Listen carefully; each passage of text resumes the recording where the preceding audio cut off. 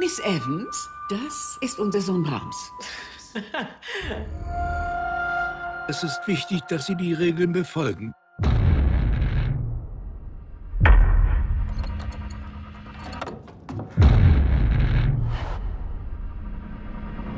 Er lebt.